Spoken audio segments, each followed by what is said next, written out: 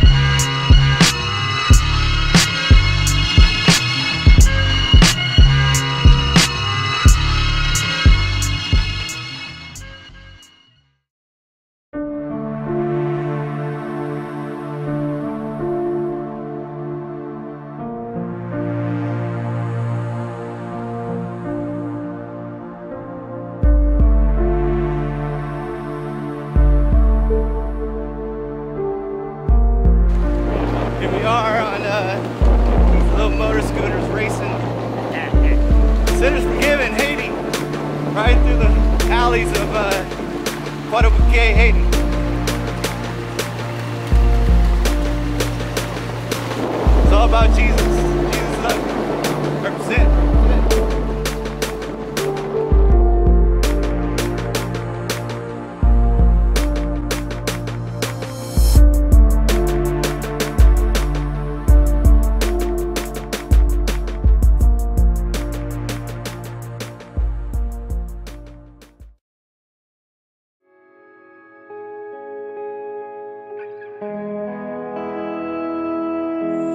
Vital's house. Yes. We're here partying at Vital's Yes, house. yeah. So uh, House party. it's it is a house party, and it's always 12 o'clock. Always 12 o'clock in Vital's house. So it blinks 12 Yeah. all day long, all night long. Always let Keeps you- rhythm. letting you know that it's 12 o'clock time to party. I'm so happy that you visit me, and I'm, uh, I feel bad because I have nothing to offer you. No, just being here with you though is filling me up. Oh, that's in great. my, in my heart. Oh, my that's great. stomach. That's great. Okay.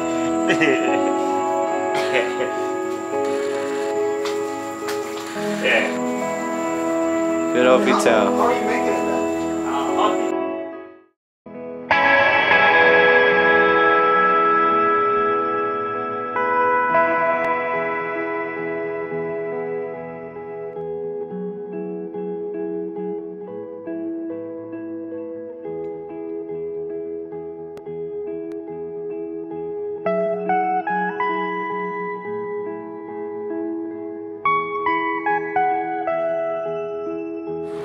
Here somewhere in the city, and uh, because the gospel you know, people need Jesus. The world needs Jesus. That's their only answer. You know, money isn't the answer for Haiti.